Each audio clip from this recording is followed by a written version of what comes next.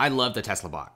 Optimus is by far one of the most advanced robots out there, and let me tell you why. I think it's miles ahead of its other competitors, and especially Tesla has a huge priority for Optimus to have some of the best and most innovative fingers out there.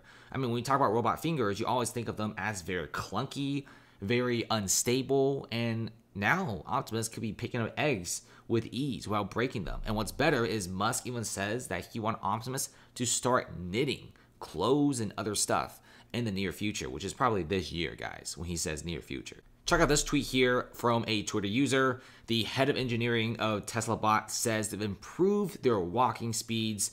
There's no falls, it's faster, it's more human like, not quite the same level as the Honda robot back in 2018, but still it's very exciting. The speed of the Tesla bot's advancement is faster than anything I've ever seen. It really did go from a hunk of metal in somebody's basement of the R&D section to like something that's very nice, very fluid. You got very good neck movements and just the neck movements, the arm movements and the finger movements alone feels like an actual human. The walking speeds are faster, the bot seems a lot cleaner, and it's very, very sleek. There's also a very advanced neural net, and Tesla is already implementing advanced AI systems into the robot so it can actually learn itself, which is cool and frightening at the same time. Now, how are Tesla's biggest competitors doing?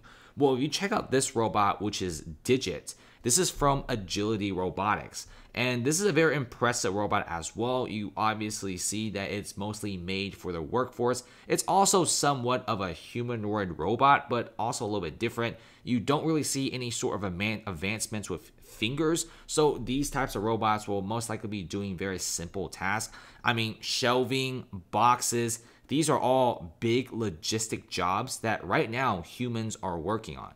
So can you imagine if you own like a small warehouse?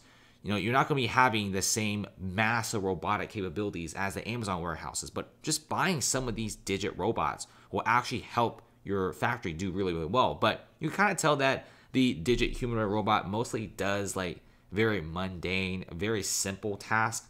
If you want them to do anything like cook for you or clean for you or do anything that's finger related, it's to be pretty difficult to see that.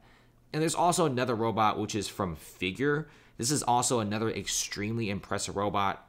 Development was just 18 ish months, 12 months around that area. And they've already made a walking humanoid robot with fingers. But you could kind of see that's very clunky.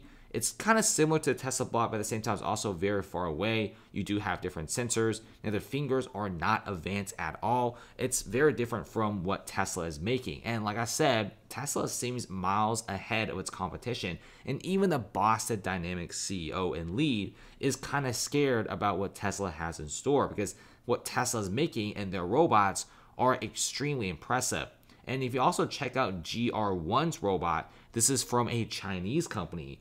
Don't get me wrong, all these robots are impressive, but you do see some flaws. I mean, the walking speeds aren't really that great. They're not really that fluid. You don't really see that powerful AI system. You don't see a neural net. And also, more importantly, the fingers, I want to emphasize, are not as advanced as the one on the Tesla bot. And it makes sense, right? I mean, Tesla, $800 billion company, their credit lines and the amount of money they have is massive. And anyone who has a little bit of talent gets hired in and they pretty much have some of the most talented people working on the Tesla bot. I think the Tesla bot is definitely thriving and going to be becoming a massive staple in manufacturing. And Tesla has said multiple times that they want Tesla to start working in the gigafactories alongside with humans. And if that's successful, they will advance the robot, sell it to other commercial properties and other commercial companies out there. And eventually, they'll sell it to everyday people like you and me, you know, the average consumer. And Elon Musk has said that he wants robots and humans to have a one one ratio. I believe that's a fantastic thing to have. You know, wouldn't it be nice? You go home. You know, you're tired, you're cranky, your Tesla bot's there. It already cooked you a meal, it grabs your work bag, and it pretty much cleans the house for you. At the same time, it provides adequate entertainment. It could tutor you, help you on work. I think the Tesla bot will be a massive companion for humans. And even Morgan Stanley has said that it's going to be disrupting the massive workforce, which is a 30 trillion dollar market that Tesla is going to be disrupting. I think Tesla has a lot of cool, innovative stuff with the Tesla bot and more things to come.